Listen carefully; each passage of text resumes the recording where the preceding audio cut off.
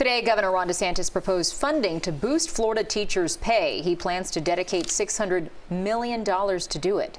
We've been doing that uh, the last two years. We're going to be able to do it even more, and this is the highest level we will have done uh, over the last three years. Uh, our goal is is to increase particularly the average minimum salary in the state of Florida so we can continue to attract great people into the teaching profession. When I became governor, the governor also proposed $421 million for school safety and mental health initiatives and to fully eliminate Florida standards assessment and implement progress monitoring.